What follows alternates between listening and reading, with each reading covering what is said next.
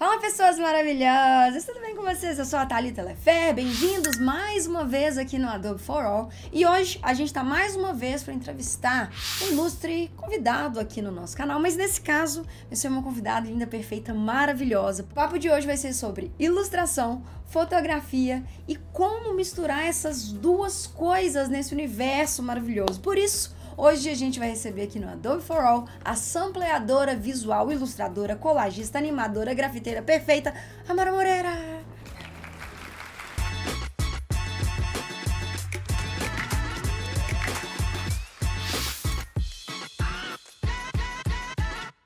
Prazer, boa noite.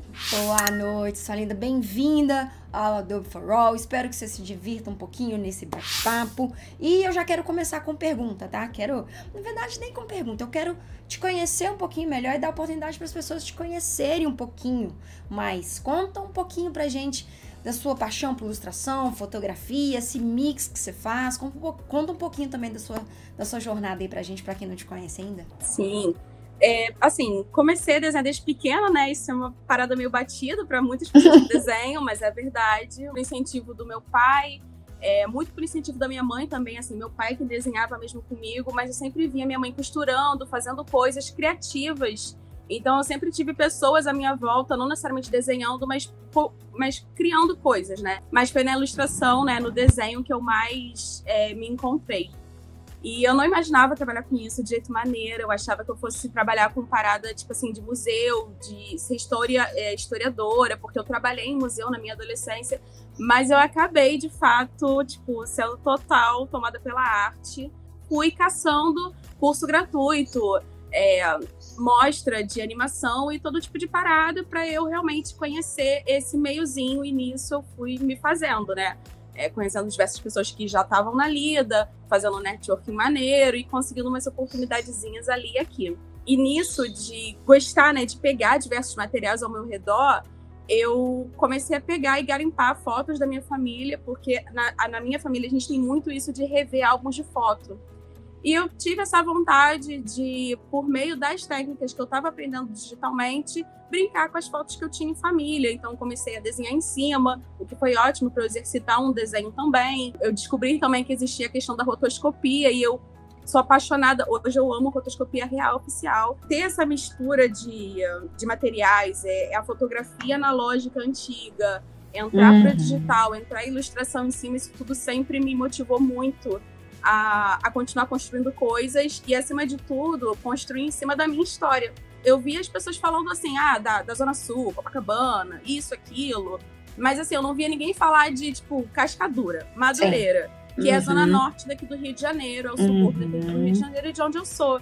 Então, uhum. eu sempre uhum. tive vontade de pegar essa realidade e trazer para o meu universo meio que lúdico, digamos Sim. assim.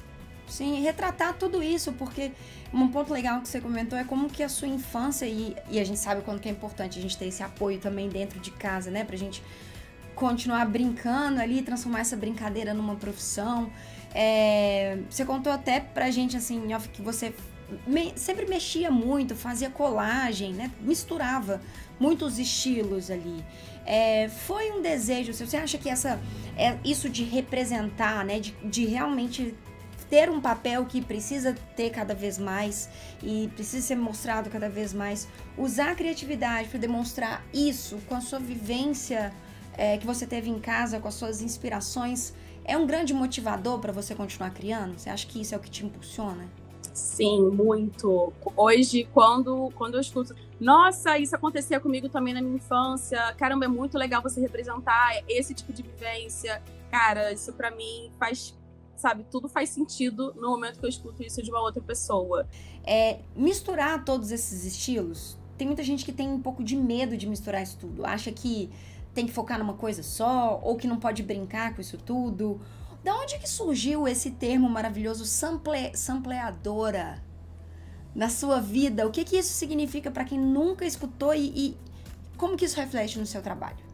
Então, o sample eu descobri da seguinte forma. Eu notava que algumas músicas que meus pais ouviam em casa, que era uma parada mais é, disco music, uns, uns blacks mais antigos, Sim. eles repetiam no funk. Uhum. E eu ficava assim, gente, o que, que é isso? E aí, um belo uhum. dia, eu uhum. descobri que o nome disso era samplear. Era pegar uhum. uma amostra de uma música antiga, ou um trecho, ou uma conversa, pode ser diversas coisas, e você usar na produção de uma nova. Uhum. E eu achei isso uhum. totalmente incrível. Eu sampleio artistas que eu gosto, eu pego foto deles, eu pego referência deles, e eu passo por cima com a minha roupagem, com a minha visão. Então eu gostei muito desse termo, porque eu tenho um pouco de problema de me denominar artista, mas eu achei esse, tipo, encaixou perfeitamente com o que eu busco através do que eu faço. Menina, você é artista, né? Você tem essa, essa alma que dá pra ver quando você fala, porque é tão legal a gente descobrir que já fazia coisas e que tem nome para essas coisas e que dá para continuar estudando essas coisas. O que, que você acha que a gente pode, ainda no meio da arte, começar a falar muito mais, a gente tem que falar muito mais, tem que fazer muito mais sobre diversos, diversas pautas que eu não gosto de chamar de minoria, porque não é. é o que, que você acha que a gente, como artista, pode trazer para ainda ter mais representatividade no meio da arte, da criatividade, etc oportunidade, sabe? É oportunidade de curso, é oportunidade de equipamento, dá oportunidade de da pessoa ter acesso a, a certos recursos. É, não não necessariamente tirar a pessoa de onde ela tá para ela ir para um outro lugar para aprender, mas que ela aprenda ali dentro de onde ela já está, porque sabe, é você plantar uma sementinha para que ela germine e possa dar mais sementes, sabe? Então eu acho que oportunidade é a parada. Eu não tenho mais nada para falar. Estaram agências, empresas, pelo amor de Deus, né? Vamos fazer, pelo amor de 2022 já, gente, quase. Já, já passou da hora da gente colocar isso mais aqui na pauta, né? Amora, foi assim um prazer imenso bater esse papo com você, curtinho, mas cara, super importante. De verdade, eu acho que uma das coisas que eu fico mais feliz nesse trabalho é poder conhecer pessoas criativas, artistas. É, quero abrir o espaço, obviamente, para você fazer os seus respectivos jabás. Onde que a gente te encontra, rede social, se você tem loja, evento. E por fim, eu queria que você me, me contasse um pouquinho dos seus futuros trabalhos. Tem algo em mente? Já tem alguma coisa para surgir? Se você puder dar spoiler.